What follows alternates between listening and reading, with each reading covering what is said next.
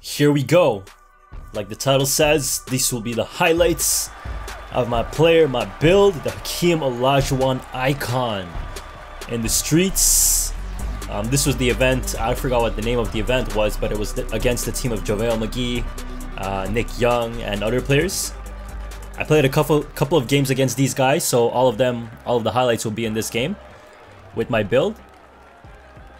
So I'm really excited, man, for the full game to come out, NBA Live 17. I can't wait till it comes out. I'll be dropping videos for sure, 100%. Ultimate Team definitely is returning. I know this is a bit random, but I just got an iPhone X today. Completely not related to this video, but I feel I felt like I just wanted to throw it out there that I just got an iPhone X today because my old phone was expiring. Well, not expiring. The contract's coming up in October, so I had to get a new phone. I got an iPhone X. I have no idea how that thing works. I heard that the fingerprints don't work. You have to use your face.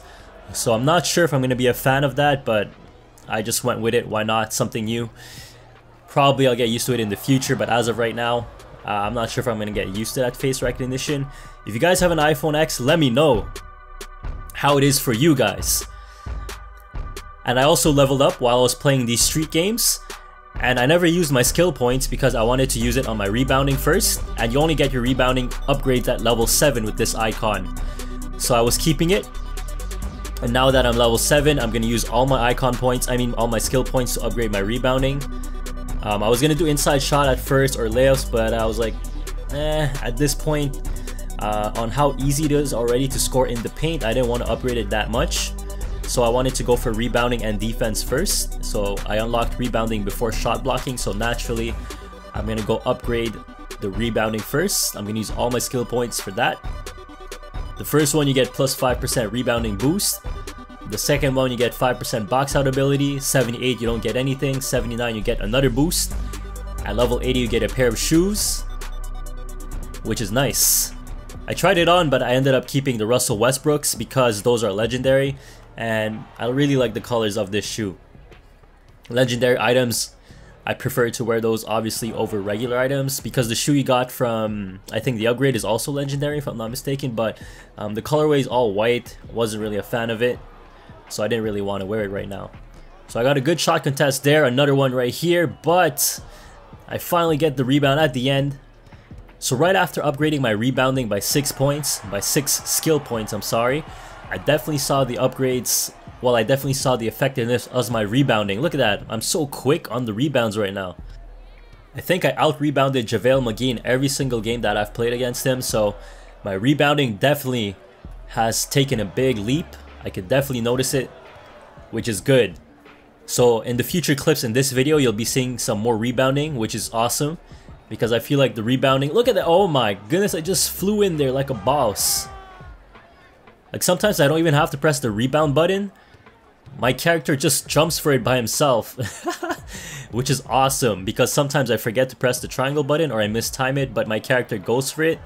Which is good. You know, free rebounds for me. I upgraded the rebounding stats so obviously it's good to see that it actually is worth it. Because I know some skills or some attributes if you upgrade it you won't really see a big difference. But in terms of rebounding you could really you could definitely see the the difference in the rebounding right away. And sorry if I'm choking on my commentary. I haven't done a commentary since I think for two days or a day. And I've recently just came back to YouTube so I'm still trying to get my commentary back into the flow. Trying to get it back you know into the groove so if I'm making mistakes sorry about that in advance guys I'm just trying my best low post inside bucket also, I'm starting school this week and I'm also working two jobs while trying to do YouTube, so it's gonna be really crazy. So bear with me. I'm trying to do my best, especially when Live 18, I mean, sorry, Live 19 is coming out on Friday and 2K19 is also coming out on Friday. Um, you know, I have to, I feel like I have to post some videos on either of those games you know, because I'm going to be doing different things, you know, Ultimate Team, you know, a defensive lockdown on 2K. Not a lot of people are going to be doing that, so I want to be unique, you know, one of the unique channels, unique builds, unique gameplays. You know, try to do my best, like I said, because Ultimate Team is really fun for myself, so this is why I like playing it and uploading it.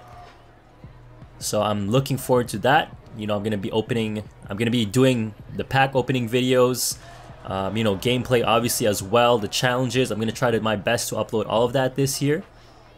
And also, I still have some great NBA Live 18 gameplay that I didn't upload yet. So what I'm thinking is every Thursday, I'll probably do a throwback Thursday if I can for NBA Live 18 and showcase some awesome gameplay that I didn't upload yet. Because honestly, I have so many amazing gameplays from Live 18 that is just jaw-dropping. For example, I have some Stephen Curry and Kevin Durant 50-point gameplays. I have some LeBron gameplays. I got some...